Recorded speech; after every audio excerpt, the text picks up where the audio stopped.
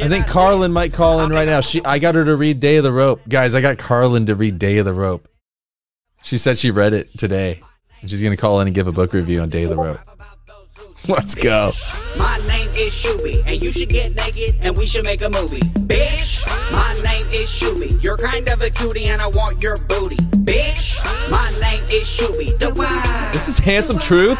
It's a boss in La Casa, and I got it from Rosso. Floss with the watch that I got from Costco. Oh no, Bro. oh, there you go again with them low blows. You wanna take my dodo? A bitch, that's a no no. She better than so so. Do it pro bono. Not a DVD yet, but we're making a porno. She like my hair short, but better in cornrows. She says she get wetter when I'm grabbing her torso. I'm cooler than an icicle. Ride 'em like a bicycle. Threesomes on tricycle. The sex is phenomenal. I can't believe that's handsome bionicle. Some find it comical. See, these guys are all just fame whores, read it in man. I'm Mr. Menadio. That's my real name. My claim to fame is fuck your dame and sniff your pain. So on that note, you better guide your hoe. Cause here Let's go, Carlos. Go. Bitch, my name is Shuby, and what I like to do, rap about those hoochies. Bitch, my name Karlyn is B. Shuby, and you should get naked, Hello. And we should make a Hello. Bitch, my This is name obviously a horrible idea. kind of a cutie and I Is it? your booty. Bitch, Yes. my name is Shuby. You're about to announce live on air that you read Day of the Rope. I'm a bacon. well, I mean, I, I I read stuff like that before. I guess it's not the first time. Yeah, so you're just it's it's research. It was for research. that's exactly it. It was for research. You got to find out what the crazy people are doing. I mean, like the reason I even read it is I've been I, I like I read the Turner Diaries in college, and um and I've been thinking a lot about that book lately in terms of like, you know, would would I perceive it differently today? Because obviously when I was in college, I was like a leftist, and um, no, I was never like crazy left, but like I was I was on the left, and so like I I like you know part of me in co- like I liked the book, but I also I hated it, but I liked it because I just like kind of dystopian stuff like that, and like kind of like the the more morbid the better. Yeah. Um, so I wanted to re- reread the Turner Diaries to find out if I feel differently about it now than I did then. And when I mean, this book kind of seemed like Day of the Rope seemed basically a lot like the Turner Diaries Yeah, to me. yeah, So yeah. You can write Hunter as well if you want to do another one. There's another one called Hunter. I think that was Pierce who wrote Hunter. Um, it's another. It's another one like that. Uh, I never heard of that one. did William Pierce write Hunter? Who? Yeah, it's Pierce. William Pierce. Read, read Hunter. Um, it's another one in the genre. Similar. All right. I have to say I was a little I was a little disappointed in Day of the Rope because like I I wanted I wanted more. And I started actually rereading the Turner Diaries after I, I finished reading Day of the Rope. And I was like, see, this is what I wanted. I, Mm. I felt like it ended without giving me what I wanted. You know what I mean? Uh, Day of the Rope did. yeah. I read it. Maybe it was 2018. So I have sort of almost like a foggy memory. It's like five or six years ago. I remember the gist of it. Um, I might even refresh if I was going to really have a conversation about it. But what are some takeaways? What can you remind me? Maybe some of the significant plot lines and points, and like what went down. I'm so essentially there was a list that was created online of like Right. just like all the people that are um, ruining all of society and it was kind of like this like you know crowdsource thing where they had all this like evidence and receipts and they knew exactly who these people were even if they weren't like the public face of it or whatever and so there were bounties that were put kind of like on, on their head in crypto where if you you know killed these people to get them off the list then you got like you know million dollars or whatever however much Yeah. people had put up depending on like the value of the target. And so then people kind of like would take it upon themselves to like you know submit a contract or whatever and then go and do the thing. And you know slowly they started kind of like picking off these targets. And then like the uh the people that are used to running the show kind of got wind of this and they were like what the hell's going on? No one's allowed to do this shit but us and it was kind of like you know what i did what i did like about day of the there's one quote specifically towards the beginning. I took a screenshot of it. Hang on. What is it? What is it? The red pill is there are no laws. The laws are just self-imposed limitations we put on ourselves. If you really want to beat them, you have to free yourself from these imaginary boundaries and this moral code that was designed to keep us in line and start playing on their level. hmm and like I, I got that and that that seems like pretty relevant honestly.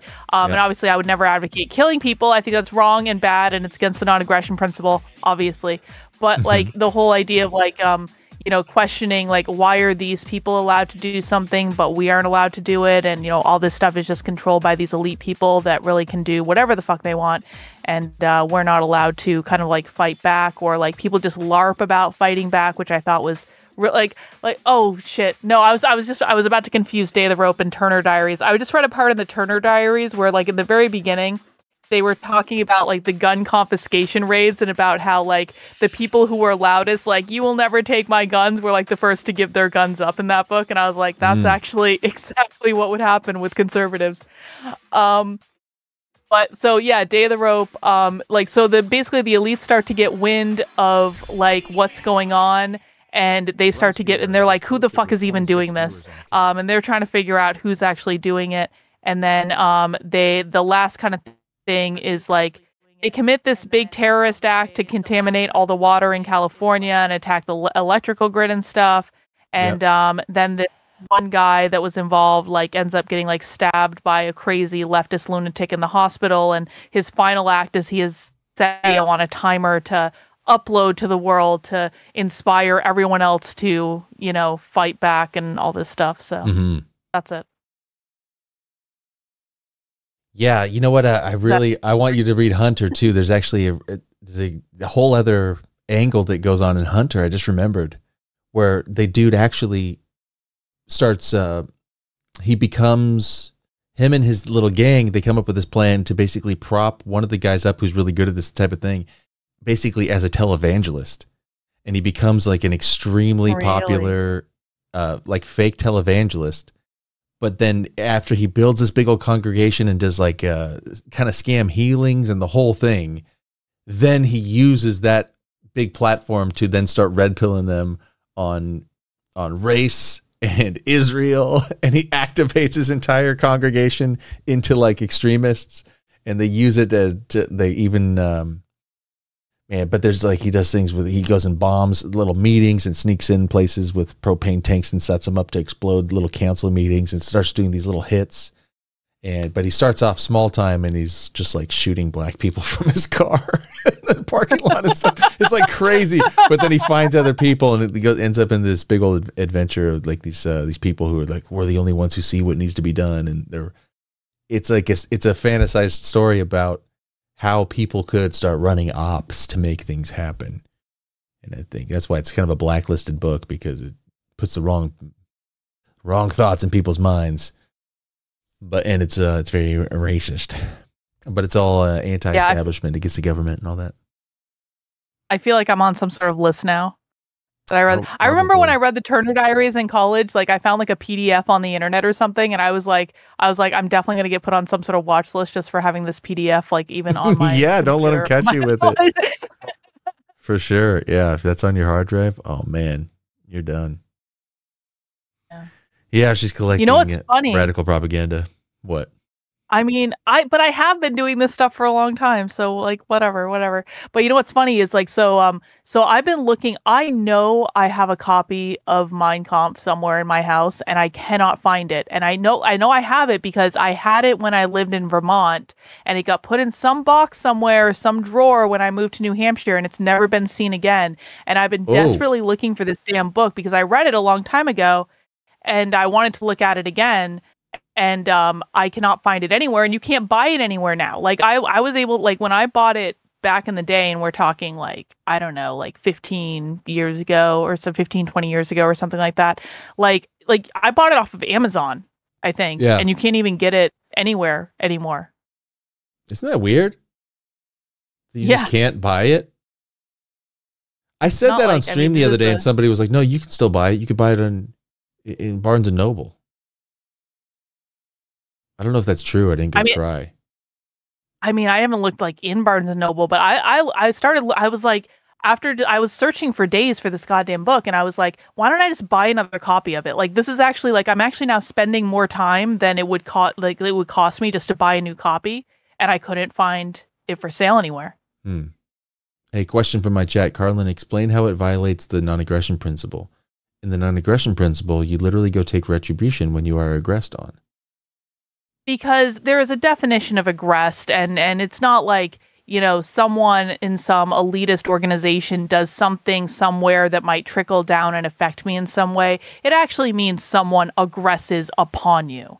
And so i guess you could rationalize it and say like these people like we're at war with these people or like whatever the book says and you know they they violated the non-aggression principle first. But if like they haven't done anything to you because the non-aggression principle is about like individualism. It's not about collectivism. It's not about like they did something to your group. If they don't do something to you then you are technically violating it if you aggress against them. But if they're if they're like on your property and they're trying to hurt you and they're trying to take your stuff then you have every right to shoot them with however many guns that you have. And that's that's fine but if they haven't done anything to you you can't do anything to them.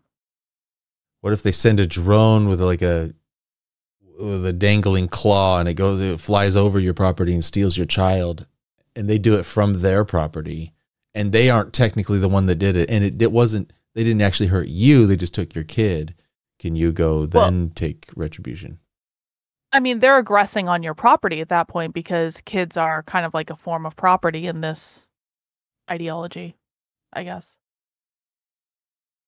So they But- are aggressing on you. if- they're taking your they're- property. Go get your property back. right but if they're moving into uh, systems of influence in politics and boards and they're propagandizing people around you and setting up scams to like bilk bilk old people out of their money and doing usurious debt scams and stuff like that that's not the same That- it gets a little That foggy. would not fall. Yes, that would not fall under the uh the non-aggression principle because they haven't se- if they're aggressed on you directly. Right. If they just went and dug a hole and covered it with leaves and a tarp and had like spikes in the bottom, then you fell into the hole.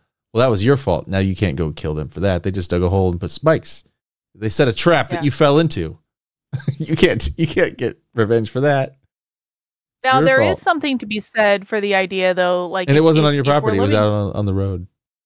Well, but there is something to be said for the idea of like if you're in like a libertarian, like a voluntarist libertarian community, and people are coming in and aggressing against the community, the community can expel those people. The community can be like, "Get the fuck out! We don't want to associate with you. You are you are no longer welcome here." And so that's that would be allowed because you're in a voluntarist community. But what if they paid to have some of their people into the board of that community who makes the decisions and they won't let you? Then what do you do? Well, that's a that's a that's a problem. yeah. Then you get a problem. Yeah. Uh, they're saying in my chat, okay, so then you allow many indirect abuses. Hmm. Yeah, that's a problem. What do you do about all these indirect abuses? I mean, I think it probably depends on what the indirect abuse is and Yeah, and then you got to get, then you got to convince everybody in your group, in your squad, in your gang, hey, these people are doing something to our group. They're doing something to our gang. And they're abusing us. And they're not going to stop. They're unwilling. In fact, they're doing it on purpose. We got to do something about it. But you got to get everybody to agree. Well, I mean, I mean, New Hampshire's trying to secede from the United States for specifically this reason. We're working on getting everyone to agree to it. That's crazy. I mean, it, there was a poll that they did a couple years ago that 50, over like 50% of Republicans, like something like 53% of Republicans in the state of New Hampshire are currently okay with seceding from the union. That's Democrats nuts. not quite quite there yet, but that's actually like a really huge number. I mean, we had uh we had we had hearings on this in our state. Well, not a, it's just nuts. Like, I mean, that would only be bad for New Hampshire, and it's impossible. Like the federal government wouldn't let it happen. It's like we want it though. See- well, so what? Like, you're not gonna get there it. there are there are people in New Hampshire who've gamed all this out though. And they seem I Oh. mean, like who knows what would happen, I guess. But they really have. There are people that have like gamed all this out. They've gamed out kind of like every possibility. What do we do about it? How do we negotiate it? I mean, they're libertarians. They're like autistic AF. This is what they do. Yeah. Well, I mean, I know people who've gamed out. You know, I know autistic people who are convinced that the Earth's flat. They've gamed it all out. Well, that's a different thing. They've got it? it figured out. They, gravity is something else, and satellites come from balloons, and uh, everything's all conspiracy. And they've gamed it all out. They got to figure it out. Space is fake. There's a hole in the middle of uh, the North Pole that goes to the underworld, where the angels and demons come and go from the other dimension. They've got they've gamed it all out, and you can't talk them out of it. They are sure that they're right. So it's whatever you get. Is everyone Oh! autistic now? Um, by autistic, do you mean retarded? No, I mean Yes, like I feel like everyone is autistic now. Um, I feel like there was there was a time when I was not autistic and then I had to learn to be autistic to deal with all the autistic people that I'm surrounded by like all the time. I think aut- autism gets overused pretty hard. I don't know. Did you see any of those streams that I did about the autistic dating show? Um, I saw that Love- you did it. I Love I, on the Spectrum? I saw I saw that you were watching it. I was like, I can't watch this. I feel like I'm making fun of like retards. I can't I can't like I felt bad. it was great. Now we loved them; they were very lovable retards. But we found that we they're just like they were cool. We liked them, but they, but they're just like like that was actual autism. Assuming that those weren't just actors acting autistic, but they were like it, it hinders their life, and they they just they they're they're missing part of themselves that allows them to be social, to read social cues. They don't like literally don't understand sarcasm. They are hyper focused on one thing. They also have like physical. They look autistic. They're weird. They they got a they got a disorder. They're disordered. But then you meet internet people. Internet people, we call them autistic, and you know you can call it Asperger's or whatever. But and I've even known some of them that are truly autistic, have true Asperger's syndrome, and they're I don't even know anymore. It's a good question that you're asking. Is everybody autistic? Maybe. I mean, we all, especially of our generation and the ones after, we all got vaccinated to- to hell and we've been drinking microplastics forever. And maybe, maybe we're all just tweaked out. Maybe we're not even normal people anymore. I'm really starting to think that like everyone is autistic and I'm not I'm not exaggerating about that. Did you see a couple weeks ago I um I I infiltrated this uh, conference put on by Cal like the California Community College system and this conference was like beamed into every community college in California so congratulations you paid for this. And um at the conference there was a presentation in which one of the presenters and she's like a clinical psychologist PhD student at the University of Southern California um, she did this presentation where she literally said all autistic kids are inherently queer biologically. I sent it to you. There's video. what do they mean by that? Like sexually queer or just does she does she is she redefining queer to mean like asocial or something? Well, she's defining, I mean, queer is anything that goes against the normal or the legitimate or the dominant, that is just like anything that essentially goes against the norm. It's a far left political ideology. So she's, I mean, essentially saying, like, so I think how she's using it is like everyone who's autistic is non binary or gender queer or gender fluid. So it's Hmm. pushing back on like gender specifically. But she also says that, um, that to have autism you you like having autism is like having a certain type of gender. It, it like having autism is a gender identity. So it's called gender um gender is a gender identity in which one feels that their gender is connected to their autism. I kind of actually give a little credence to that because my theory is that actually everybody who's queer is actually just autistic. Like queer uh, is autism. a lot of them are So I don't think I don't know if autism means queer, but I think queer is I don't think everybody who's autistic is queer, but I think everybody who's queer is autistic. I think it's actually like and it's maybe not even exactly autism, but it's like that. It's like a type of retardation and and maybe even more like OCD. I think the trans people by the way, I think they have something that's more like OCD where it's a compulsive upset like you know OCD people they have to like tap the door handle a few times before they can turn it or they have a certain type of itch that they have to scratch all the time that's sort of psychological to them. They just mm-hmm. have to do this thing. Otherwise, they're uncomfortable. They just like can't stand it. And I think these people who are fixated with switching their sex, I think it is like a compulsive disorder, like OCD. And I think I have compassion for them on that level, but I think that's what trans is. It's like a hyper fixation on their sex and the other sex and wanting to switch where they live with a weird discomfort. We used to call it uh, gender dysphoria, but I think that's actually just a type of obsessive compulsive disorder. I think there's something to that. I also think that um I, I think that you're right in a lot of cases where there's like uh, genuine gender dysphoria or whatever. There are also cases though where like a lot of the male to female trans people, it's just they're autogynephiliacs. It's a sexual fetish. Right. Yeah, totally. So and maybe there's overlap to that and maybe there's not i don't know but there is um certainly something to the idea that like so schools are specifically targeting um autistic kids to push gender ideology on them to convince them that because they feel weird or abnormal um, during puberty, which I mean, of course, an autistic, I mean, anyone's going to feel weird during puberty, but like an autistic kid is going to feel especially weird um, because they are. Um, mm-hmm. Like that that's an indication that you're not the gender that uh, you were born as. Um, right. They teach that like uh, that 75% of kids um, that have autism are non-binary or genderqueer.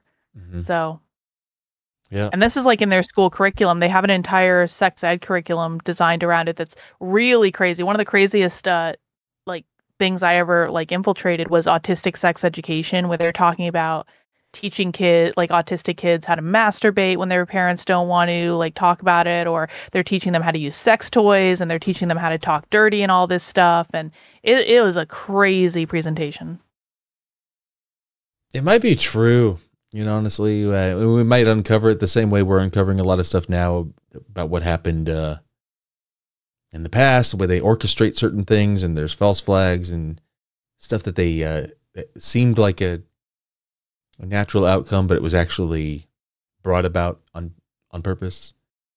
I wonder if we're going to find and just find the trail and figure out who it was and how they did it 10 or 20 years from now. We're going to find out, oh, they turned us all autistic and gay and trans on purpose. Like they, mm-hmm. they knew how to do it. They figured it out in the 50s. They ran the op. That's what chemtrails were, or that's what certain thing was. And they just that's why all the kids turned trans and autistic. And that's what was in well, the vaccines. And like they fucking just poisoned us and just turned us into like a proto cyber humans and the, the, the the brave new world that they want to take us all into where it's like a a weird uh cyber human or post human whatever like the first thing they had to do was just like androgynize us or whatever yeah. You know, one of the weird things is, and this is a story I covered last year.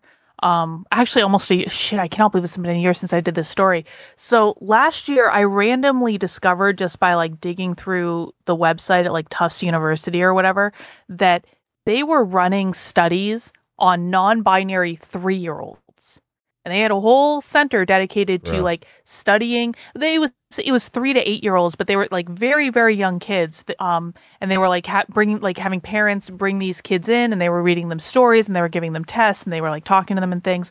And like at the time i was like why the ever loving f are they studying non-binary three year olds and the only thing i could come up with is like they're trying to reverse engineer how to put these ideas into kids brains essentially. Because like if they can figure out like what makes kids i guess feel this way when they're really really young then that's stuff that they can start inserting into like childcare programs and like you know kindergarten curriculum and like stuff like that. And then as i kept digging into this study i found that the guy leading the center that's doing this study is also working with this school in new york where last year they launched a middle school just for trans and non-binary kids and yeah. that guy's on the advisory board for that school. And i was like what the fuck? You know i heard an interesting uh, this uh, biopsychologist i don't remember what she was but this person who was really tapped in and knew what she was talking about. And um she was like uh she was probably in her 60s and she had like this long credentialed career of research. Anyway she was talking about the differences in our hormone levels and specifically this podcast she was in was focusing on the collapse of testosterone in the population, and our sperm counts are going down, our testosterone is going like off of a cliff, and it affects his, it affects boys and girls equally. Like the, it's a hormonal balance problem happening in the youth, and it's I didn't know this, but you can measure an effect in an infant, and the way they measure it, by the way, it was weird. It's they measure the length of the taint, like literally the distance between the butthole and the ball sack or whatever, that little piece of skin. If you have a certain amount of the of testosterone present during the pregnancy, I think it was like shorter or longer. I don't remember which one, but they can actually like based on the length of the taint of the infant, they can predict with pretty good accuracy if it's going to turn out gay. Like there, it's literally related to all sorts of different things that are going to be experienced by that kid and their psychology and their life and their demeanor and everything. You can measure the length of an infant's taint to tell like if, whether or not it's going to be basically uh, a masculine boy or a, a femme boy. It's weird. That's really weird. Yeah, it was really weird and she talked about uh, how uh, things, everything from microplastics and um, seed oils and all these things are like absolutely suppressing normal hormone production, and it's really feminizing our whole population and our sperm counts all fucked, and we're just like dying. We're dying off bad. We're becoming yeah. I mean, did mixed gender. Didn't I see some story that like all men have like microplastics in their balls now or something? Something like that, yeah. You see Stores, this? Yeah, I saw that too. Yep. Huh. Stores up in the test. We all have plastic testicles. Congratulations. Welcome to the future.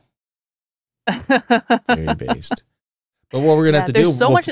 we'll probably start overcoming it with some sort of weird cyber hijack. Though we'll all get nano uh, cyber uh, uplinks implanted. What is what's it called? Uh, the nano link or Neuralink Elon's Neuralink, we'll get that implanted, or we'll get a little chip put under our skin that's measuring our plastic levels and our our T levels, and then we'll get some sort of like serum that gets injected that the AI tells us, and it whips up a cocktail in order to fix us. And but in order to receive our injections, we'll have to approve the terms of service for living in the cyber dystopia or whatever. We'll have to keep keep in good standing with our social credits and uh, not transgress any of the TOS of the civilization. Otherwise, you get sent to the gulag, and you don't I get. I think there's serum. a Black Mirror episode about that. Yeah, it feels like like we're literally going there. All right, they're asking for me there. in chat to remind you that the next thing you need to read is the oh God protocols of the elders of Zion. I've heard about this. Wasn't there some sort of movie about this or something? Can I watch a movie about it instead? I feel like I've seen this. I don't think there's a movie. If there was, I would watch no, it. No, there's no movie. It's not that uh. long of a read, but you'll find it. You know, they'll want to. They want to tell us that it's been debunked that it was a forgery. They've been telling us that for decades. Oh, that was all just a scam. It's like anti-Semitic literature somebody made up to try to make look Jews look like international bad guys. Are you sure there's not a movie? I feel like I've seen the, them talk about this in a movie. I don't know. If you find it, send it to me. but what's crazy is that if it is a forgery, it just happens to line up exactly with what we're experiencing in the world, and it was predicted many decades ago. And it was, it's portrayed though that this is the plan of the inter- international Jew, basically. And um, what's in it? Well, basically that they are going to move into certain. Uh, it's just it, it it's it's actually like a transmission between one group and another group explaining their master plan for international control, and they get into academia and the media and the banks and the governments through these types of means, and then they set up different polarized political systems through funding this and funding that, and then eventually they set up a world war between uh, Islam and Christianity, and like uh, it's it like spells out everything we've experienced in the last century. Mm. It's really weird. I should right. read it, Looks to be some again. Yeah, I read it like ten years ago. Should should we start an extremist book club? Uh, yeah, I would actually, actually, do that, I and I'm not so. even joking about that. I would do that. yeah, I think that would actually be really cool. I've been thinking about it too. I wonder if we could do interesting book reviews. I just finished. Well, actually, I'm, I'm at the end, but I Adam uh, Green had me read a book called Nailed by David Fitzgerald. Um, I think it should have a better title. It would have been better with a better title, but it's called Nailed. It's about Jesus. Um, dude, it's like endless fucking slam dunks on the historicity of Jesus. Like it's like every sentence is just another like holy shit. He's just the whole book is boom boom boom boom boom boom boom boom. Here's all the problems with the Bible, eh, specifically the Jesus part. Like it's all of the historical act, um, historicity of Jesus. He calls it all into question and just debunks the fuck out of like everything that we think is is a real um, legit sighting of Jesus being a historical person. And then it breaks down the authors. Well, how come this author knew this and this one didn't, even though this one came first and this one came from the. I couldn't even like give you a recap on it, but if you listen to it, you'll just. I mean, that's what I, I'm rebuilding the deck on my house. I was out there all day today, but I just had it on as an audiobook and I'm just casually listening through it, going like, especially somebody who studied the Bible, like the whole first 20 years of my life, I was like in Bible studies going to church and I was Mhm. being groomed to be a pastor. Like I did a semester at Bible college before I dipped out of there. And like I was, uh, so anyway, Seriously, yeah, yeah, you yeah, went to Bible school? yeah, yeah. Wow. Yeah, I got my. Well, I don't want to say which. I, I went to. I received my po- my uh my bachelor's degree from a Christian college, and um Wow. yeah, man, I was raised. My parents met in Bible study. Okay, and I was conceived on the honeymoon. I was born into a Christian family, and my dad went to Bible college, and I was like raised in Bible study. So I know the Bible pretty. I know the Bible better than Catholics do, by the way, because Catholics don't know it because they don't really care about the Bible. They care about like the Pope and the sacrament and their faith and the creed and stuff like that. But the but the Protestants with the sola scriptura theology that they have, it's literally they know everything they know about God comes from the Bible.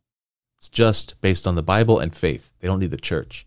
So they study the fuck out of the Bible. So I know the Bible forward and backward, left and right, and like really, really good compared to most people. So for me, reading through this book, I'm just like, it's it's it's wild how kind of apparent it is, but I was never able to see it because I was always being fed a narrative about the Bible that is all like encased in the idea that it's sacred and it's from God and it's holy and it's true and all of that is presupposed and then the the, curriculum that I'm taught or you know the the Bible study commentary I'm receiving is from somebody who believes it and they're they have an agenda and they're like they're linking together this and that in a way that makes it seem like it flows and it relates and it's totally good.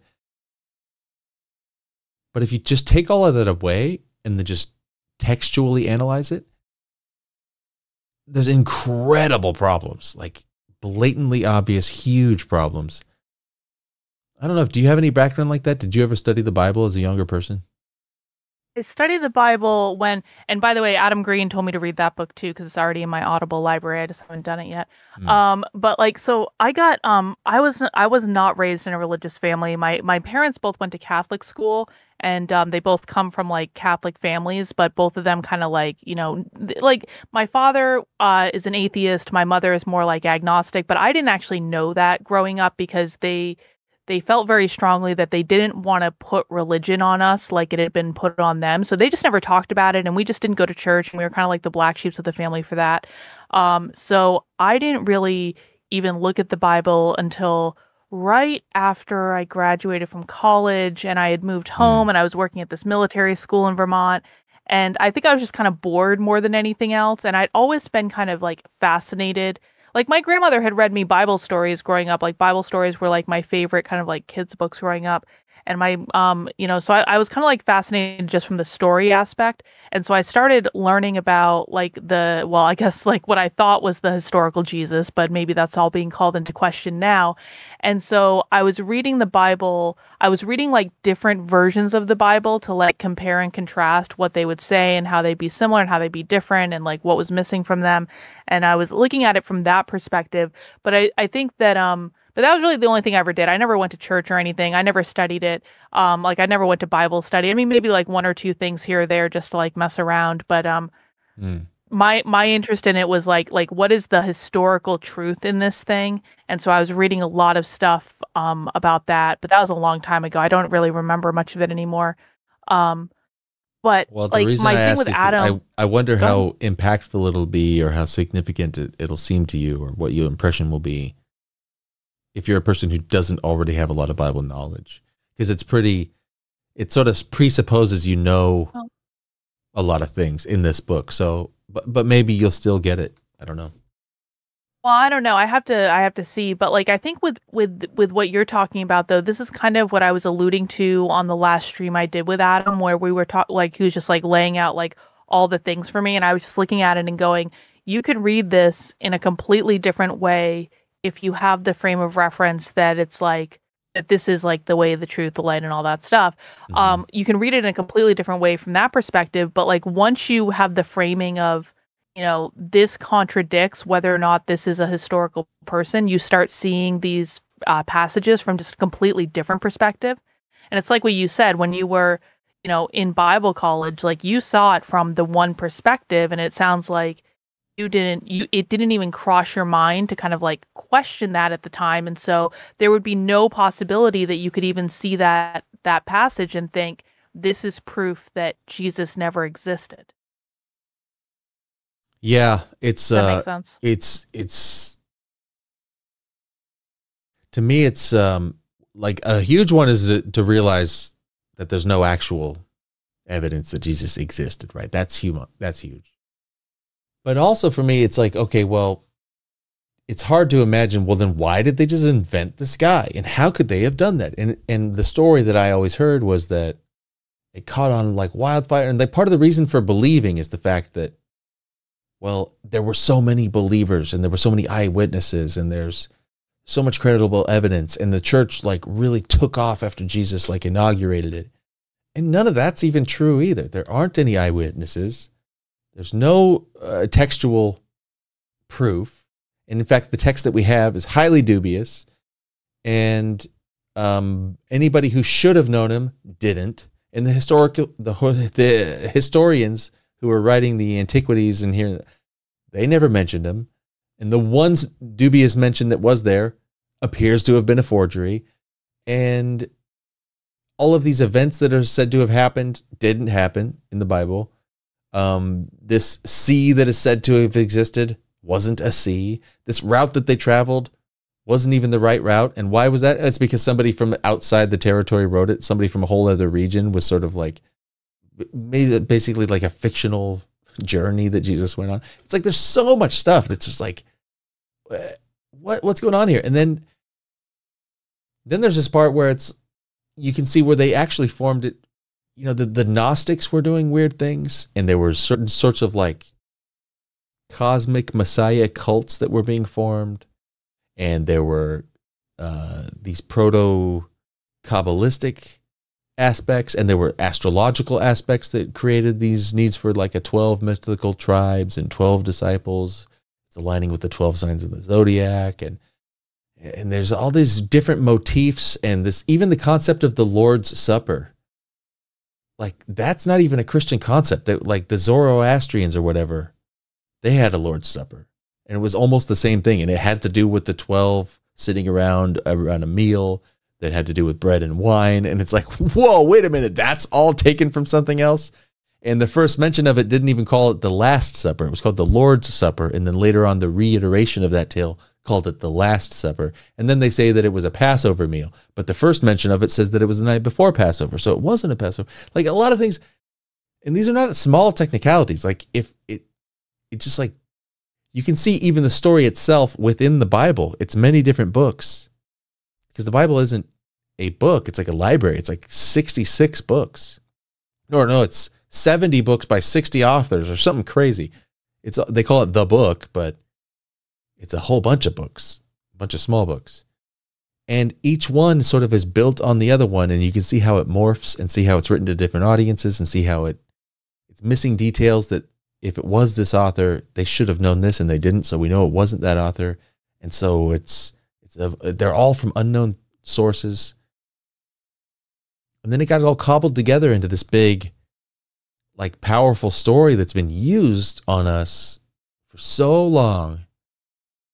And in such a powerful way that now even questioning it is, well, for many ages, they would kill you for that. But even now, I mean, I have people in my audience who've done actual damage to me, like taken some of my audience away, encouraged people who supported the stream to stop. They've gone around and slandered me and tried to chase me out of certain communities and stuff because I talked about Jesus, because I had these types of conversations. Like they've harassed me and like literally tried to come and fuck me up. So they're they're maniacs. you know what I mean? And Oh, I believe it. it's yeah. wild, man. It's like there's there's it's like such a vicious cult and it's endured for so long and it's all something it's all just like made up by these ancient Jews. And even the ones who say like, "Oh, you're interpreting it wrong. It should be interpreted by you has to be interpreted the way the original authors intended it." Oh, you mean the original Jews? like you you're literally Right. saying you have to interpret it the way the ancient Jews meant it. When you it's like hello. it's so crazy. Anyway, I mean, Christians get crazy when you go against them. They get they get they Yeah. get insane. Not all of them, but like a lot of them really lose it. And you think you're talking to these normal people, and then like I've had this happen to me. Like when I was um like I mean like the reason I I got- into trouble with that whole like Hitler went to heaven tweet is I had literally made the decision that I was like, I'm going to talk about my spiritual beliefs just like Christians talk about their spiritual beliefs to me. And like, we're going to see how they like it. And I'm not going to apologize. And I'm just going to get in their face and I'm going to evangelize to them. And we're going to see how they like being like, you know, like preached to all the time for a belief system that they don't want. And that didn't work out so well for me because the Christians got really effing pissed off. yeah, you can't do it. Yeah, they'll they'll say to you, "You're going to burn in hell if you don't accept Jesus," and you're like, oh, "Okay, well, Jesus isn't real," and they're like, "Hey, Right. fucking shut the fuck up. That's offensive." It's like, what? You just Yeah. told me that I'm going to burn in hell. Fuck you. You're offensive. You're telling me if I don't believe in this Jewish story, I'm going to burn in hell, and you're telling me, uh, but I'm offending you when I say Jesus was made up by Jews and I don't believe it. Like, they're like, yes, and if you offend me, I have the right to hurt you. Oh God. So yeah, they want the world to be like a safe space for Christians. I have a question though. Like so so you you literally went to Bible college. Like what made you start questioning like is any of this true and like how did that feel when you kind of like started changing your mind about that? Yeah, it happened during that time. Um, well, when I graduated uh, from high school, I was on the track to go work for the fire department, and I still wanted to get a bachelor's degree, so I was going to school at night. And uh, so I was like in a, you know, I, I, was- I did it that way. I didn't just like go off to college and live there and Oh, stuff. okay, So I was okay. working my way through college, and I didn't, you know, that was my plan. I was just going to work for the fire department anyway. But you get to be paid more and advance faster when you have a degree. So I was going to chip away at it while I was working and there was a night program that I could go to. It was like a you know a, a, correspondence courses and things like that. And also, I had already finished a lot before I graduated high school. I already basically had the AA done through the local community college because I found out that if you go to the community college, community college, not only do they pay for it if you're still in high school, it's free, but also it counts for college credits and high school credits. So I graduated high school early with already my first year and a half of college done through the local college, which ruled.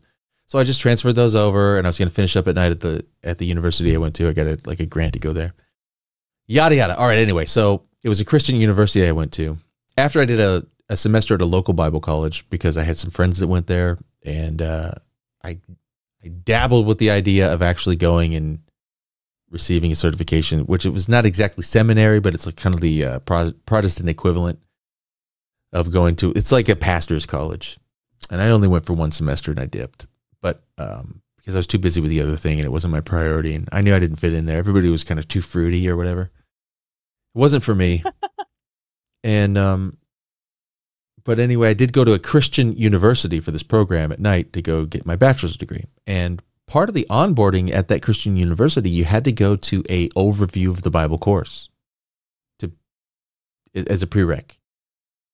And I had already done a ton of Bible study and I'd done a semester at that Bible college and I was raised in it and everything. but I was uh where was I? Like 18 or 19, right? I had just finished high school. I went through fire academy. I'm working on the ambulance. I'm volunteering at the fire department. I'm going to school at night. And also I should include that in this time, like I just said a little while ago, I was on a stream with Adam Green and Adam King. I don't know if you saw that. I just did a stream with them. But we mentioned The Matrix had a huge impact on me, that movie. The Matrix, along with, because that came out in the summer of 99. And I was a, maybe that was the summer before my junior year, I think. So between sophomore and junior year, The Matrix came out. And I went into that movie not even knowing what it was. I hadn't seen a trailer. My friend said he was going to the movie. You want to go? Sure. Um, we went and saw the movie. I walked out of that theater and I was like, what the fuck? Like I, I saw the world different. It was really mind blowing. It was like a first, it was a real philosophical mind bender. And I considered some things like, how do I know that I know anything is true? It was the first time I really started asking that to myself. How do I fucking know that I know anything? Which is sort of like a deep philosophical question about like the ontological truth of anything or whatever. Um, how do I know that I know what I know? What if I'm fucking wrong? What if I'm just convinced of things that are untrue? Which is sort of like the premise of the Matrix that the, the world is pulled over your eyes. It's a bunch of lies. Nothing's what you think it is. There's actually just a big scam going on. And that sort of like primed me, right, to be thinking a little deeper as a young man. I was a teenager, whatever. And and I was in a very rigid worldview of Christianity, right? I knew what was true to me was revealed by God in the Bible, you know? So that's what I was told. And I took it for granted because all the adults who I knew and loved and respected, they all believed it too. So I just, you know, as a child, I was like, yeah, they they know what's true and I'm just lucky enough to have been I heard the truth. There's poor bastards out there who don't know about Jesus. They just don't know and Satan is keeping them from knowing the truth of God's love. you know, it was just like so pure and obvious and whatever. And I didn't really like why question it? You know, my mom and dad and my pastor and all my friends, everybody believes in it. So I th- thought it was just true. Like, duh. Yeah.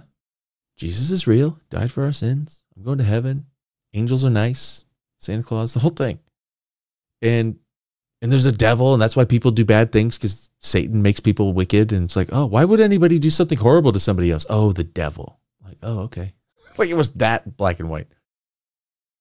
Anyway, now I'm like a young man. I saw The Matrix. That kind of blew my mind a little bit. And then two years later, right after I graduate, the September after I finish high school, 9 11 happens, 2001.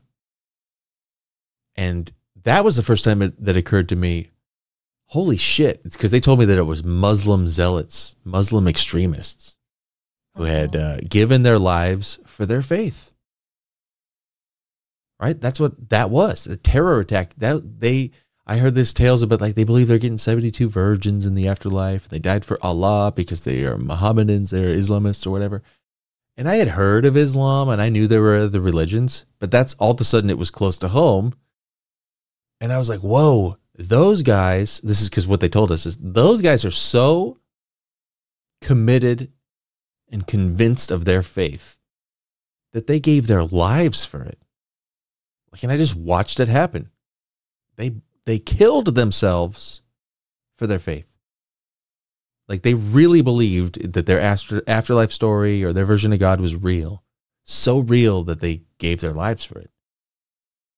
And now there's all this talk about what's going on in the Middle East and these uh, Islam and that impact impacted me. I was like, well, how do I know that my faith doesn't prove that I'm right? Because they have at least as much faith as me, maybe more than me.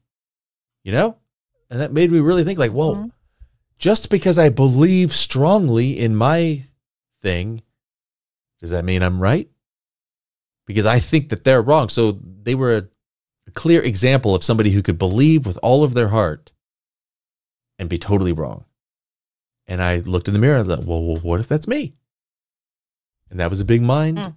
Expander, you know? So I was primed by the Matrix to think that, uh, well, how do I know that I know anything? And then I saw 9 11 happen. I'm like, well, they're wrong, but they thought they were right. What if that's me? And it all, then the, the third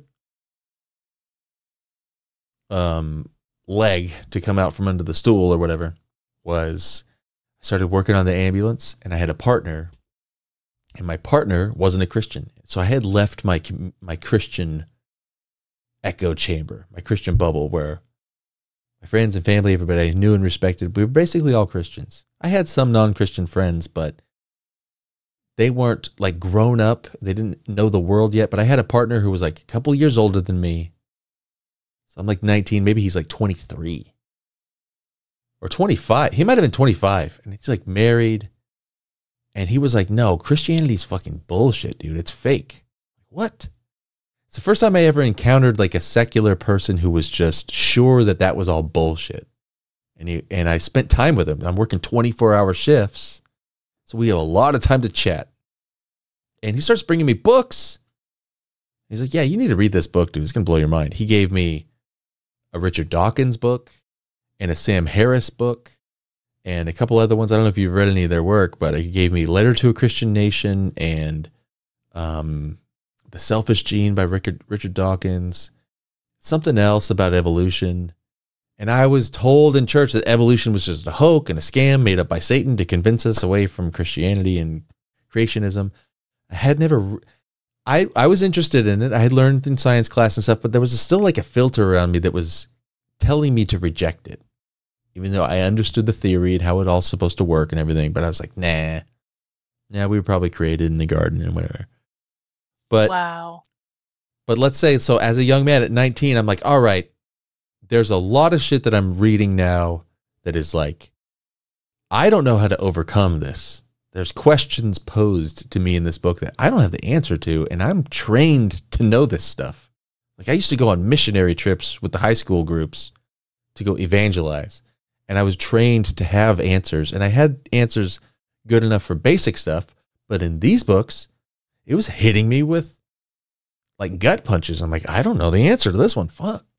So I brought those questions to my professor at this intro to the Bible class at the university.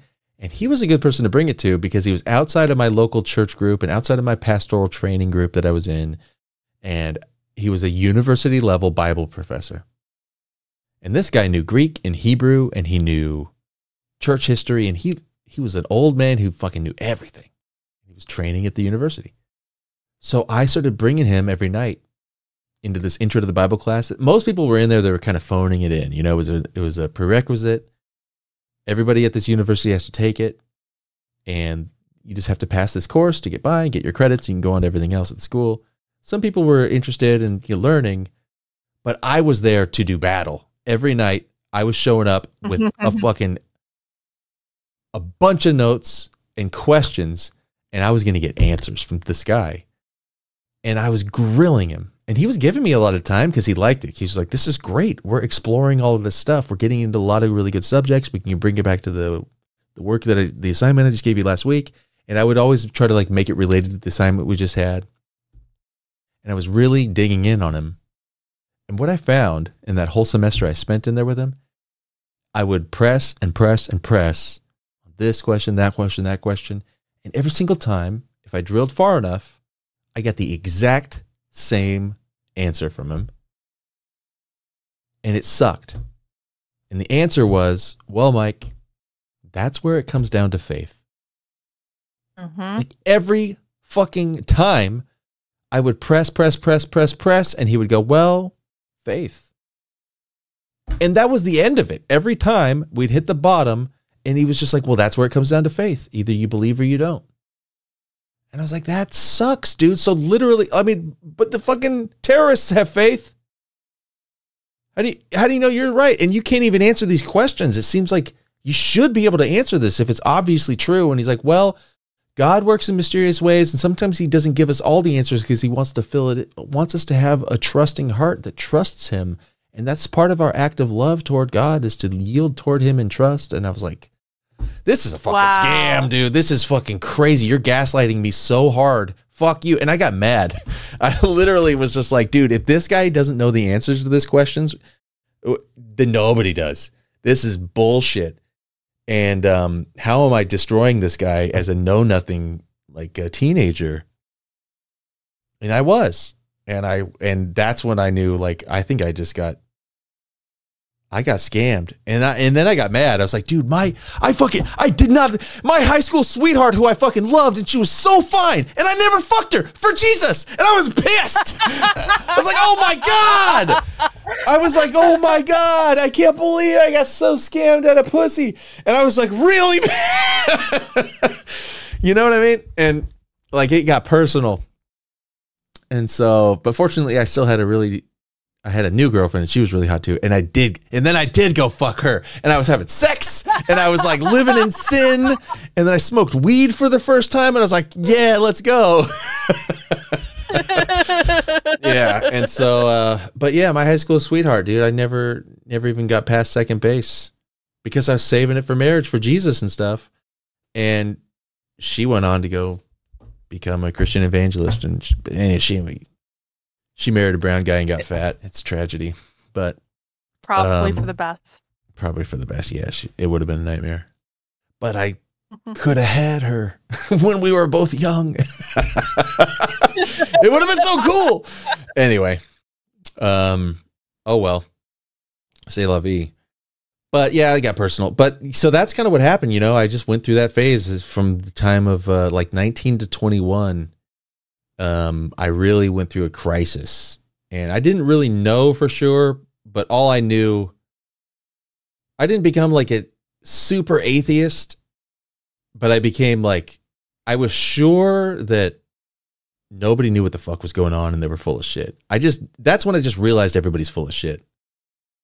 Yeah, I just realized real. everybody's fucking full of shit and nobody knows what's going on and they're all lying and they don't mind lying and they just fill in their at their gaps of knowledge with fucking bullshit. They just fill it in and they act like it's real.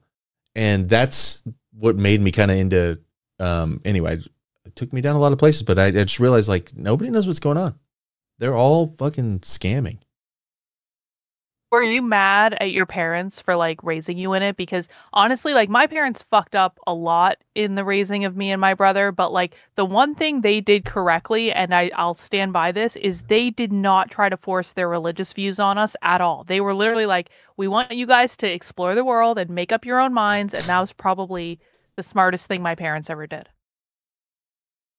Well, for me, my parents didn't really push it on me. I mean, they did bring me to church and they were very, you know, in it. And they're like just true believers, you know. And we would pause and pray at dinner and we would go to church on Sunday. And they were very like living for eternity kind of Christians, you know, and thankful to Jesus and praying for the lost souls of sinners. And like they just like are trying to be sweet people and so they i was surrounded by a lot of those and so but it, my experience was that it was actually just very mostly especially from my perspective of the time which was childish and naive i didn't there's a lot of stuff going on looking back that i just didn't see i just only saw the good side of it when i was a kid it was just felt very wholesome and warm and nice you know and it was people getting together and singing like, what's fucking more lit than that? People just getting together and singing a song. That was church. To me, that's where people get together and they sing songs together. And that's fucking awesome. By the way, when people just raise up their voices and they sing the same song, it's like magic. It's amazing when people sing together. And like, where else do people do that? They do it at church. They just get together and they're singing songs about like love It's incredible. So that's like a very amazing thing to me. And um, so I thought that was badass. And people were kind, and there was like coffee and donuts, and the kids were happy and giggling and playing, and there was always like a you know a playground, and like it was just for families to come together and enjoy a nice time. Everybody would dress up and treat each other with courtesy, and like that was every week for me there was one day a week where we went to this place where everybody was sweet and they gave each other hugs and they were dressed up nice and all the mommies like had on perfume and they smelled good and it was just badass. Like i loved it. I loved church. That was my experience. So by the time i became like a young teenager i still went to like i enjoyed then they had like the young the youth group meeting you can go to on Wednesdays, and all your buddies were there, and there's a fucking foosball table, and there's a rock and roll band, and then we would do a fundraiser and go do laser tag or go on a trip to the beach, and it was the shit. And there was always like a pizza party, and it was dope.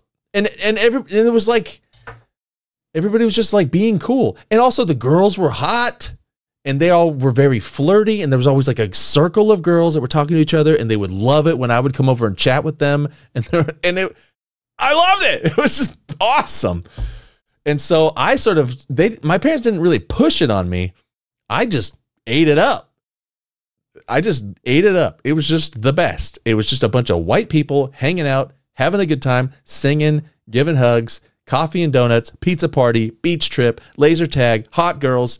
Like, what's not to love? Like, only fucking losers didn't go to church. That was my opinion. Like, oh, what are you, some kind of fucking loser? You oh, know, are you gonna go like watch Beavis and Butthead and do drugs? You fucking fag. Go to church. Look, it was bitching. That's how I felt personally. I just really liked it. So, Hmm. so yeah. When and then, you know, uh, you would sit through all these sermons and stuff, but it was also that was fascinating to me. Like I like learning a lot. So when somebody would come and they would do like a deep dive into the like the interesting fucking correlation between Psalms and Proverbs, or they would go into like the exile of the Jews into the Babylon, or they would do a you know a relating the different you know like the symbolism and this and that. I was like, whoa, it was tripping me out. Or they would somebody they would somebody would come in and give a testimony about how like Jesus changed their life and they used to be on drugs and and they, had, were alcoholic and they were living under a bridge and their life was falling apart and then they found Jesus and now everything's better and they own a business and they got a family and everything's cool. I was like, wow, is like amazing. It was always cool. It was, I mean, that's how that's what my experience was like. It was just I was just like in a cool club that was just nice. And my grandma went to church three times a week, and I fucking loved my grandma. My grandma was awesome. And she was just like the sweetest, like an angel. She was like a saint, like the best person in the world. And she loved Jesus. And I was just like, fucking, okay, me too then. Like, Jesus is cool. She's cool with my grandma. It's cool with me. My grandma is so fucking rad.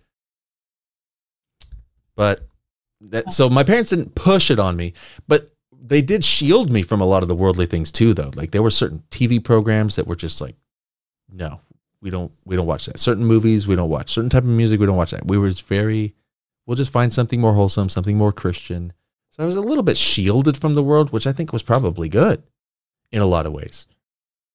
And um, it did feel a little cramped sometimes. There was things i wanted to do that i wasn't allowed to and i didn't you know, oh man. But looking back probably preserved and protected me a bit. There's a lot of traumatizing things in the world that I was kept from, which is nice. Mm. So I don't, I didn't, I didn't really have hard feelings for him. If there was any, like actual resentment, though, like, look, I won't, I don't want to say a lot about this, but there's a gap between me and my parents, specifically my dad, that I hate and it Mm. exists because of Jesus. Because when I started questioning, my dad took it hard. Because my dad is like Yeah. a fucking true believer. It's part of his personality. He's living for the afterlife. And also seeing me lose the faith was really hard for him. And he, like, to a believer like my dad, he thinks that Satan came into my life and stole his son. That's what my dad's experience is. And when I talk to my dad, ever since then, I don't think he even really sees me. That's how it feels on my end. He see I see him looking at me through the eyes of a person who thinks I'm possessed.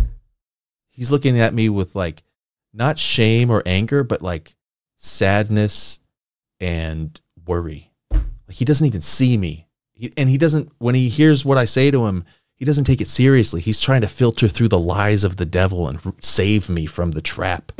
It's crazy. So I kind of lost my dad. It fucking blows. I can understand that. I've I haven't talked to my father in um over ten years. Last and it, it was ten years in April. Um, the last time I talked to my father, and so I I understand that different different circumstances, not because uh you know I did left the church or anything, but it my dad's not suck perfect, but he was a fucking cool guy. Yeah.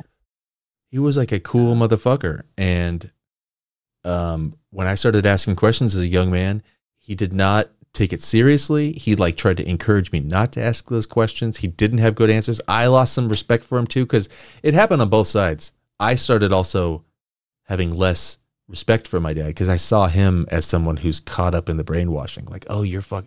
My dad, who used to be like a superhero, now I see him as a guy who's duped. Like he's a sheep. Isn't that isn't that rough. funny when you start to see your parents differently like that? Mhm. And I kind of wonder if everyone goes through that to a certain extent where like, you know, I remember being younger and seeing my parents like at my age now and like feeling like my parents knew everything and they had it all together and then you kind of reach this age and you're like my parents didn't actually have it together. Like I, that was just that that was wrong. That was not correct at all. And so I think that's kind of like a mind fuck that everyone goes through at some point. Yeah. Yeah, so that was pretty wild. And um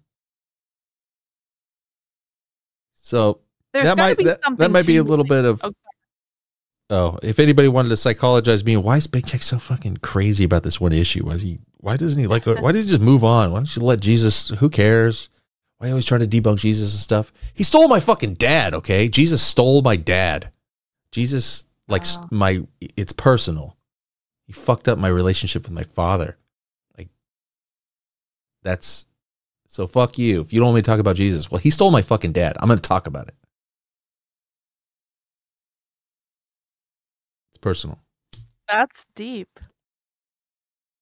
yeah. I mean, I wonder there there's something to the idea though that like, you know, I and I saw someone in your chat say this earlier and I'm not like really responding to them, but it's kind of like on the topic of like um you know, like people say like, you know, Karlyn's a grifter, she does all like she's changed her mind, she's trying to be in all these groups or something. But I think there's something to like the idea that once you see through one layer of bullshit, it becomes a lot easier to kind of like understand layers of bullshit in other areas when you see them right? So it's like, yeah, I saw through the bullshit on the left, and then I was able to see through the bullshit on the right significantly quicker than I was able to see through the bullshit on the left because you know I just wasn't I wasn't paying attention for a long time. It took me 20 years to see through the bullshit on the left, and then once I saw that, I was like, once I saw the same stuff starting to happen on the right, like back in like you know right after Biden took office, it was mm-hmm. very easy for me to see through that bullshit, and then like you just kind of keep digging and digging and digging, and I think it becomes at least for me maybe I'm an anomaly, I don't know, but it like it became much easier for me to kind of keep taking like red pill after red pill because once you learn to see through it for one thing, you can see through it for like other things too.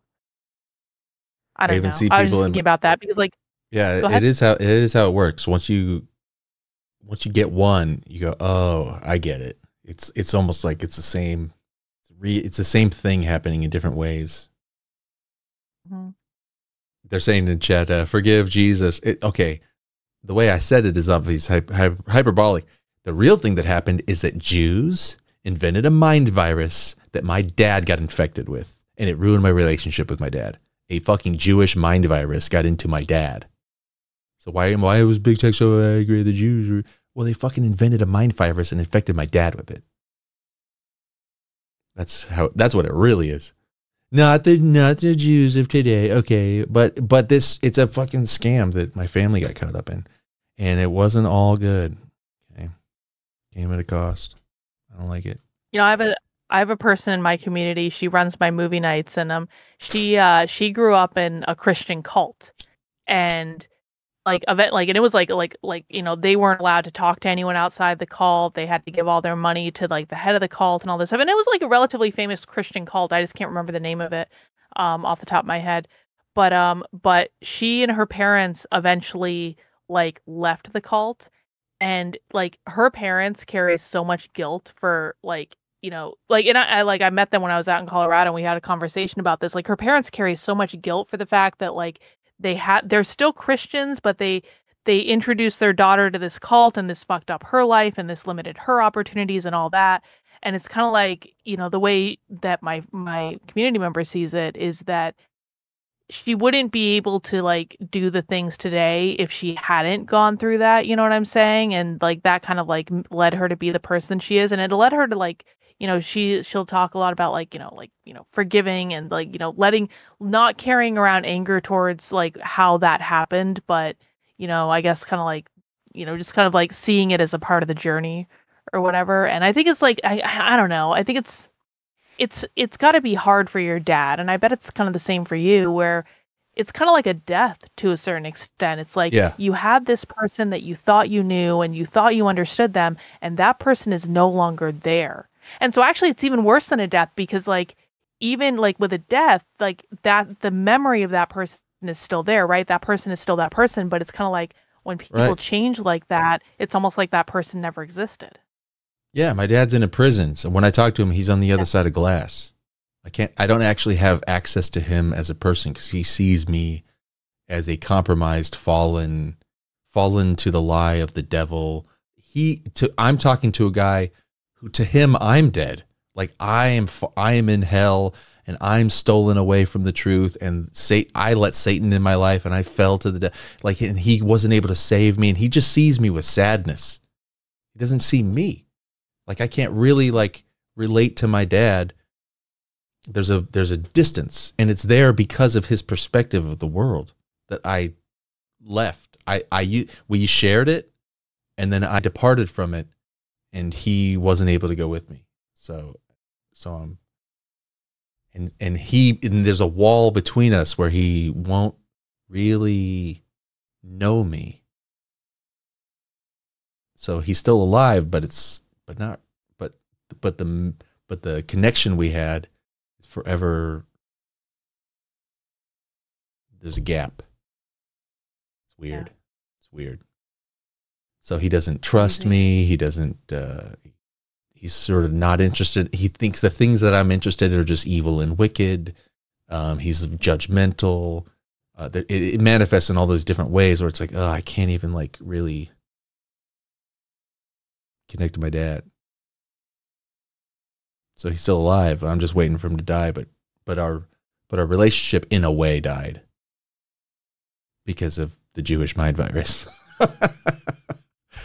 whoa so now you're gonna red pill the world yeah so dad. yeah so uh, yeah i got my little personal vendetta there I mean, I mean, it is kind of funny though how like all your life circumstances really seem to put you in a position to be able to be a really good person to do this. Like if you hadn't gone to Bible college, if you hadn't known the Bible inside and out, if you hadn't been raised in these communities, would you even be in a position to be able to, you know, do this with people? Right. Yeah. Yeah, and when I when I try to drop it, when I try to just leave it alone, it keeps calling me back. So I don't know. It it does seem that life Yeah. sort of shaped me to like that's uh whatever if it's a colleague or if it's uh well, that's my personal crusade. It's funny to call it a crusade, but it's like an anti-crusade. And so yeah, the people The the people who attack the- these Christians who like have kind of come after me and tried to do stuff to me. Some of them literally call me the Antichrist, and that's what I'm really am kind of being. That's sort of my thing. You should make that a t-shirt out of that. Yeah, big Antichrist, Why not? which is goofy because it's still it's sort of like uh, playing into their still in their frame, but that's how they see it in their frame. Oh, you literally are of the spirit of the abomination of desolation and you, you are succumbed to the dark lord satan. It's like oh god dude. I don't want to give it credence and play into it. It's so goofy. But Well, that's what gives exactly like satanists their power anyway too. It's like oh if you create a world where there's a bad guy villain who's super powerful oh well then if you call yourself a satanist you kind of get all that power. So they've created a power. Mhm. that's why crowley and that's why uh you know all these people that's why they're satanists. They don't even believe in satan but they understand oh in this world satan is an archetype in our minds. If you play off of that you can play off people's fear and people's uh, the the suppressed desires that they've been suppressing because of this jesus concept and you can feed in there's like a there's a pressure that you can become the release valve for and uh, you can kind of tax all that energy that comes out of it play off of it. And then you, That's what the devil card means in the tarot. oh yeah? It's about basically being like oppressed by like your own desires. Um it can mean a lot of other things too but like in the in the the traditional tarot deck which is like the rider waite deck um if you look at it like the the devil card is basically like you know this you know it's a capricorn it's like a goat but it also has like two naked people a man and a woman and they both have chains around their neck that they're chained to like the altar but if you look at the chains they're loose enough where if they wanted to just take the chains off and step out of them they could so they're literally kind of like trapped there due to their own their own desire to be trapped there so there's like something about wanting to be oppressed and wanting to have like this burden on you that you could easily remove if you just decided to do it. Right. Yep. That's kind of how it is. It's like um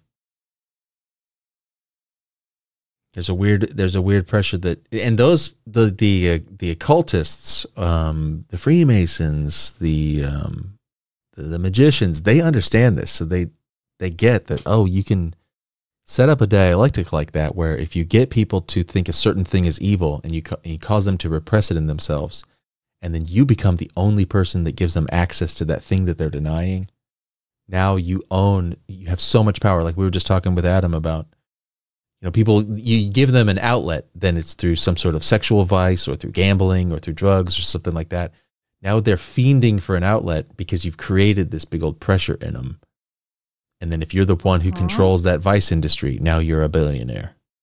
Now you're a gangster. Yep. And we call in it's weird, but that's why they're always involved in that kind of stuff. Yep. And that's why sides. Christian sexual repression is so stupid because it just creates repressed human beings. So yeah, you should have just fucked your high school girlfriend. You know, it's like I mean yep. that, that that's like one of the stupidest things that Christians do is sexual repression. It's like you're just asking honestly for like all sorts of problems because it's not just about having sex, getting laid, like whatever. It's not just about that. It's about like you are repressing certain energy in yourself that we as human beings are designed to experience and you know, Nick is not off base when he says that if you're not having sex, you can channel that energy into other things. Like sexual energy is just creative energy. And so like you like it's the ultimate creative energy because it can create life. So if you channeling that into like creative pursuits, that can help, but ultimately like you're still sexually repressed and that's still going to manifest itself in some really weird ways. And I I really think that that's like one of Nick's probably biggest problems is that he is a virgin. He is sexually repressing himself. Like, I don't care if he's gay or not. And that is manifesting in some really re- weird ways. Yeah, it does. it does. So, go so, get laid. Just go get laid. It's okay. Everyone will be fine. it is true. People have, uh, men have written about it for a long time that um, if you to be like really successful and powerful, it does take um a, a very a highly sexed person and not meaning somebody who's like getting laid a lot, but somebody who's it's a it's sexual creative energy is the same as the energy that drives us to go want to breed. It's like the um the seeking it's like a if you're horny for life, if you're horny for your project, if like if you find gratification in making progress toward your destination or your dream or your your purpose or your endeavor that's what it means to really like channel genius in a way and most of the geniuses of our time were they were very uh, highly sexual people but rather than going just chasing pussy they were chasing uh, an outcome of another type but it's a channeling of that mm-hmm. same of the vril the virility. Exactly. Yeah. Exactly. Yeah, but in Christianity, we were, but that's the the weird thing is when you get told that that's sin. It's like that feeling or that energy, that's Satan. You have to pray for it to go away. You have to like uh, suppress it. You have to like shame. This is the shame and guilt and all sorts of stuff um, around it, rather than a a teaching like a wise way to harness it harness it and use it for something good. Nothing shameful about it. It's natural. And in fact, it's like a tremendous power uh, in your life. Like, no, it's wicked, it's fallen, it's carnal, it's lustful. Like, rather than teaching uh, and having a way to create a lust for life, a life affirming philosophy, it was really just you have to overcome and cut that off and be chaste and try to just be like cultivate meekness and patience and all of this other thing. The way it was delivered to me anyway was didn't work out. And most people in the youth group were fucking too. That was the crazy thing. But they were just feeling guilty about it, or they were just doing it a little bit, mm. or they were getting caught and there was a scandal or something, you know. Or or eventually they would grow up and then they would become twisted, you know. They would end up spinning off to become like become goth or punk, or they would get into drugs, or they would do some. It would it would be pent up, and then when eventually when the dam burst, it would burst into some sort of like spastic direction. It's a lot of really or they would just get married young and then they would get divorced later or they would uh, you know just kind of be miserable or they would get into just sort of like a, a cringe sort of dull life i saw a lot of people go that way it was weird tragedies I mean, like I think like society would be so much better off if people just like normalized their their like, you know, relationship with sex because it really seems like most people are just like an extreme on either side. Either they're completely sexually repressing themselves, which is going to lead to really weird things, or they're just completely like oversexed and they're porn addicted and like stuff like that. And that's also going to lead to really weird and like toxic things because that's not good either. And it's like, I don't know what's so difficult about just like being normal about sex is like it's part of life we all do this this is like natural this is not something to be ashamed of like you know but also be smart about it like don't don't just run right out and fuck er, any everyone because you know you're going to take on the energy of who you fuck and that's not going to be a good thing for you either or you might get pregnant and you might not want that or like whatever like why can't there just be a balance of like this is not something to feel shame over and but just be smart about it. I don't get it it's going to be a weird world when the dam breaks completely. I mean, we're already feeling it, and you know, there's Insta hoes and, and OnlyFans and all that. Uh, you know, internet dating culture, and we went through like the free love thing in the '60s. There was a kind of like a bursting out moment there, but man, when it like really breaks, the the one the other thing that we don't have it's like we have like a total repression on violence too there's like no violence mm-hmm. allowed. Nobody's allowed to get in a fight. Nobody's allowed to kill. Um, that's another thing that we're totally repressed on. We don't. We have like a total monopoly on violence, and it's a hands-off society. And any violence is always bad, in the same way that like sex is always bad in Christianity. Like our culture is still that violence is always bad, unless it's like sanctioned for a spectacle you're a UFC fighter or something. That's the only time. Or if you have a uniformed badge, and even then you're supposed to show all this restraint you can. And um, but um, if there was some sort of liberation on sex and violence, I think people would just be we would be different creatures if we lived in a world where you had to watch how you behave, otherwise somebody might fucking kill you. We would behave different, and you had to watch the choices you make. Be, um, you want to you're making choices based on the fact that everybody is a viable sexual partner and so much uh, prudentry, or I don't know if there's a right word. Right word. I think about it sometimes, like what what is the world going to be like when the like in the AI future, like we were talking about earlier with Adam. For those who were here for that part of the stream, I think it's going to remake society so drastically. One of the dangerous traps we might fall in is that we might actually fall into a weird like orgy fuckfest future which would be really kind of wild and ecstatic but also it would be we we could go off the cliff where we just it just becomes like porn world. Like full blown just everything is about sex. We might the pendulum might swing way past where it is right now where we we all just become actual just like it just might become a sex economy. Like what like it literally could. I've been i don't want to get totally into explaining how it could be that but um when the when the brakes come off and we all get these, these weird medical technologies where everybody's just like totally beautiful and total and we all live forever and Everything's taken care of and nobody has to fight or hunt for anything. We don't have to build anything. We have nothing but free time. What would the economy be? And it will basically become an economy of exchange between partners. And we could we might become like hypersexual and um and also when breeding and recreation get gets taken off where we're like no longer even having natural births anymore like we might be cloning ourselves or growing our babies and birthing pods or who knows what crispr gene editing babies this is what i mean like in a future where we started editing our genes to where we're all totally immaculate and beautiful and we have no jobs because they're not needed because robots do everything for us what would we do with our time and it you might just be literally just describe Brave New World. yeah i know It's Brave New World. That's exactly what you're describing. It's Yeah. Fordism. right yeah orgy porgy and that's what it is and everybody's on some sort of drug that makes them feel good everybody's beautiful. And it's just like who are you fucking this week? Oh i was thinking about fucking this person. Oh Yeah. cool.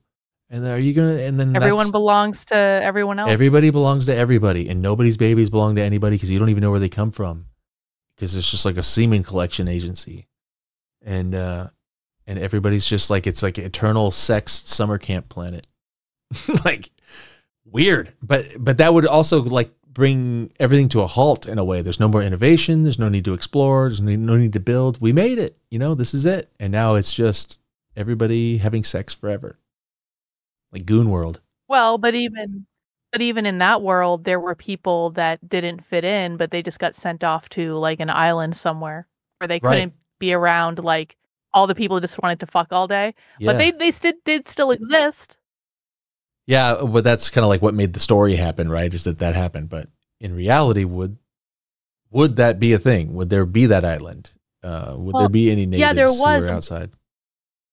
So there was so there there was the guy that came from the reservation into like the the, the you know the the Brave New World or whatever. But there was also the guy. There was a guy that was already there. Um, that was just kind of like you know like a you know a beta level worker or whatever, and he was just like he was really into poetry and he loved poetry and that was just his thing. And so when um when the main character got sent off to the island to read uh, Shakespeare or whatever, the other Mhm. guy decided to go too because he didn't want to live in this world and he was you know completely raised in that environment so feel like Yeah. there might always be anomalies to the rule i mean there's there's there has to be like there has to be some sort of like not everyone can just like we there i i i don't want uh, to imagine a reality in which the only thing that we do is like we're born to basically come to this planet and grow up and get indoctrinated into a cult and then you know just like fuck all day i mean like that kind of is going to get boring after a while. True, I think it would too. Maybe. What if it doesn't? That's the danger. What if it doesn't though? What if it's actually just What if our ultimate doom is we fu- we just create such a pleasurable existence that we stop doing anything? We just go all the way in. But then why would Oh god, I'm going to get I'm going to get woo now. Um why would anyone want to like come and experience that as like a life, you know what I'm saying? Like if if and I don't know that you agree with this, but I'm going to say what I believe. If um if you think that, you know, we choose kind of the life that we're born into to gain certain experience or whatever, like why would that be something that would be worthwhile to be born into? Wouldn't it just like die out as a civilization after a while? Just from like a higher level spiritual perspective, it's like, okay, I can keep going back and just fucking and fucking, even though I know that this is just a lower form of existence. I don't know. I don't know the answer to that. Why? Why would it? You know what's crazy? Um, know. have you ever heard of some of the um the alien ex- uh, abductee reports? Like they talk about their top. You know, there's there's these hybrid aliens that are. They say that the UFOs that are coming here, there's a whole race of them that are coming here, and the reason why they're abducting people and doing uh, hybrid stuff is because their civilization went through something like this and they lost the ability to reproduce.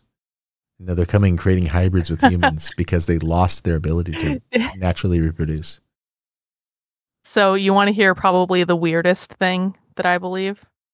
Yeah. Oh, you're um I believe that I was abducted by aliens when I was a kid. I really do believe this. I Let's really, go. really do. and the reason is there's a couple reasons. So, first of all, like my parents, and this, I understand how stupid this sounds, but just go with it. Um, like my parents used to watch like unsolved mysteries every single effing week. It was always on.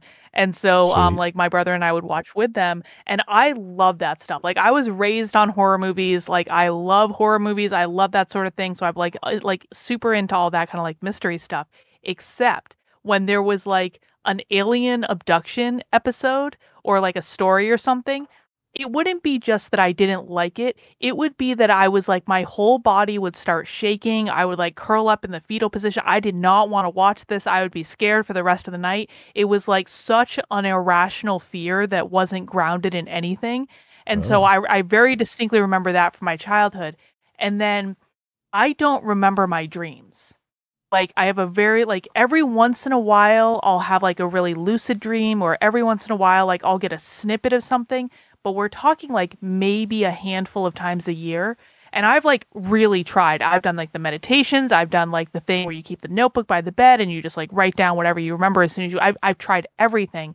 I cannot remember my dreams. And so for a long time I was thinking I was like is there some sort of thing where like when I was a kid, like I had some sort of encounter with aliens because like I would just I was always so terrified of that and the day the day they do something to my brain which they wiped out my memory of it and and then like I that and that's why I can't remember my dreams. They screwed something up in my head when they did that. And I was just kind of like positing about this for a couple of years and I didn't really think too much about it.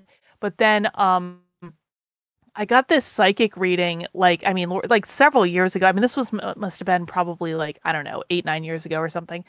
And basically, and it, it was one of those things that was like, it was out of nowhere in the context of like the psychic reading, but it said something to the effect of, the Greys on this planet want to thank Karlyn for their service that she did to them when when when like they they met her or something like that. I was like, holy shit, the psychic is telling me I was abducted by aliens just like out of nowhere for no apparent reason. I was like, there might actually be something to this theory. I don't know. I've told it on stream. I got abducted too.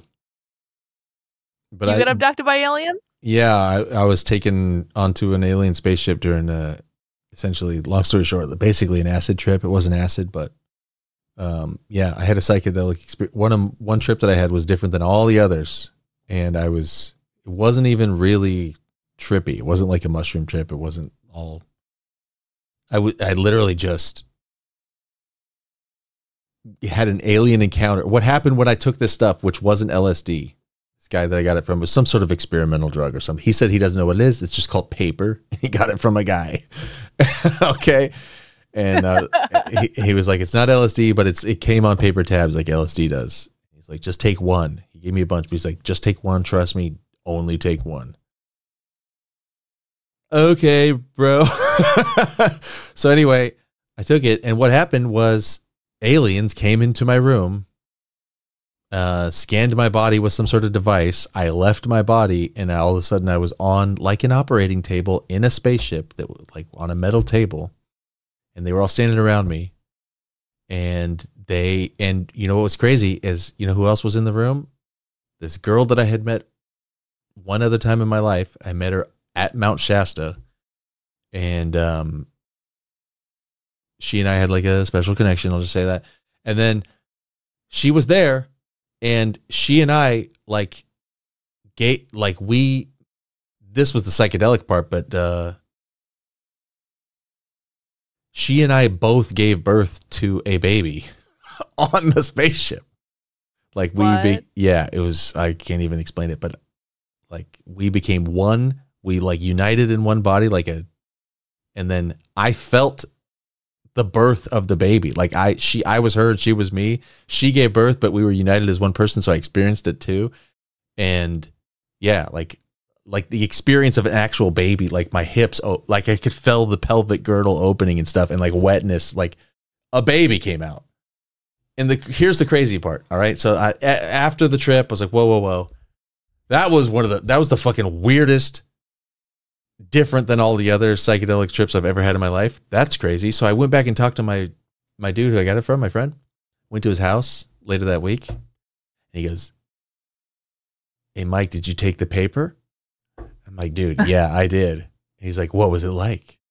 And him, I'm at his house, and his girlfriend's right there. And I'm like, "Well, dude, honestly, it was the craziest trip I ever had, dude. I got abducted. I went to a sp- alien spaceship." He goes, "Yeah." I go, "Yeah, dude." And I gave birth to a baby. And he slaps his girlfriend in the arm and goes, "I fucking told you." And the look on her face was crazy. She goes, "Are you serious?"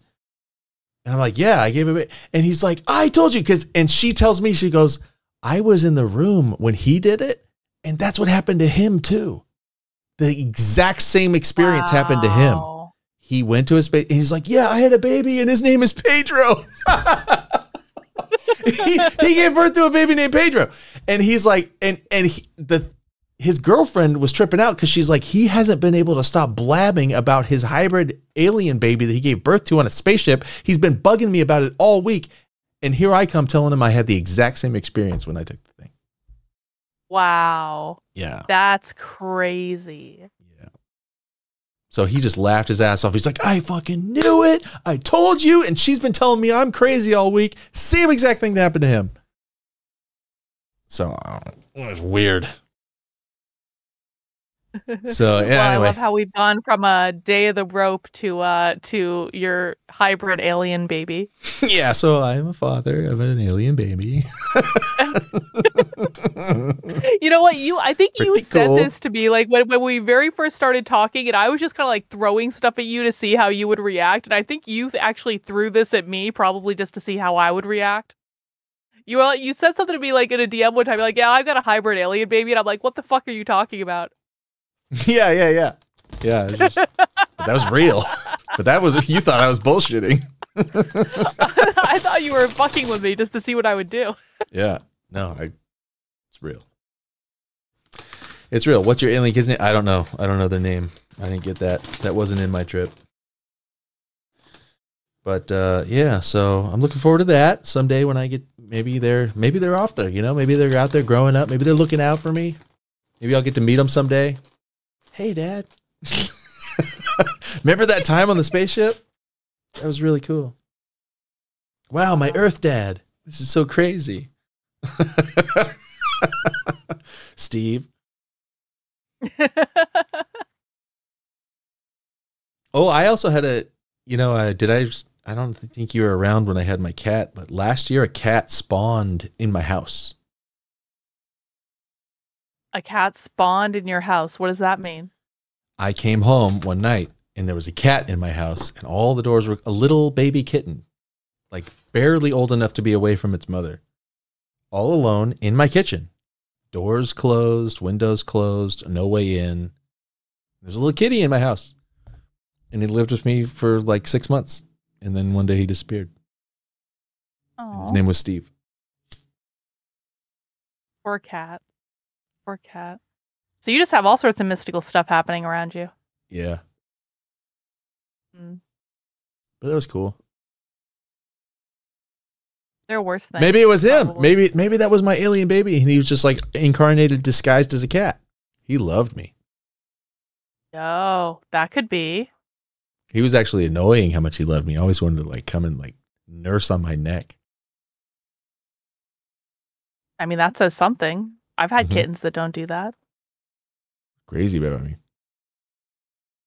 That was probably it. That was probably Steve was probably my alien baby. He just incarnated as a cat to come spend time with me.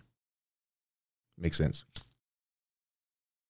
I mean, they say like, you know, like in like, you know, spiritual groups, they say that like if a woman loses her baby, like it, it'll come back in like a future baby. Like like if if if a baby is meant to be born, like whether you have it through like whether you have like a miscarriage or like an abortion or whatever, like if it's meant to be born, it'll come back in a in a, like a future child. So, is it out of the realm of possibility that you know if you had a hybrid alien baby somewhere that that consciousness you know exists somewhere and it could incarnate in another form Makes sense. That's cool. I like that idea. Why not? I'm for why it. Why not Dude, if they can believe in Jesus, which is obviously made up by Jews, I can believe in whatever I want. Exactly. nothing ever dies we just change forms we can come back anytime it's different things So, yeah, super super sex goon world. I think it's where we're going. I warned everybody in I chat. Everybody who's watching my show, someday I'm gonna have sex with you. Everybody who's ever watched my show, we're all gonna hook up in a giant sex pile. I think that's a great idea. Nothing could go wrong with that plan. Yeah. So get your I super mean, chats are- in now if you want to be first in line. if you want to get treated the Well, they best. They are actually trying to do this though. They they're, we're working on a project in my in my community to like document queer polyamory therapists because they're try they they're all sorts of like fucking therapists that will just teach people how to be polyamorous and like you know help polyamorous couples cope with their polyamory and like all that stuff and it's like it, it, it, it it's like a whole industry now and they're some of the craziest queer marxists you'll ever see Jeez. but Imagine they that. make money teaching people to, you know, basically embrace a sex filled life with no consequence and no emotional attachment. Sweet. We should check that out. You should send me some of those videos. I'll review them on the channel. That'll be fun. Oh yeah. Yeah. Do you want to? Okay. Yeah. Send me a couple of those. I don't know where to find them. All right. All right. Well, if I come across anything interesting, I'll send it over. Okay. Cool. Thanks for calling right, in. Thanks for reading. Thanks for reading uh. Day of the Rope. Thank you. Now- Let's do the. Can we can we do the extremist book club? I want to do that. I really do. Yeah, actually. yeah, yeah. I was thinking it'd be cool. Um, like I just had that little panel show. Adam wants to do an actual panel show. I think that's maybe that will be mine. Maybe we'll do a book review panel. Get some p- other people in on it. We'll all read a book and then just hang out and talk about it. Something weird. Okay. Day of the Rope would have been a good one to do. We can still do it. Yeah, You and I talked about it. Other people can talk about it too. That's and what I've I already mean. done the work. I just I'm- mean, yeah, we're I'm already happy. we're already kind of doing it. yeah, that's a good idea. Excellent. Cool. Okay, see ya. All right. Good night. Bye. Have a good one. Night. Bye.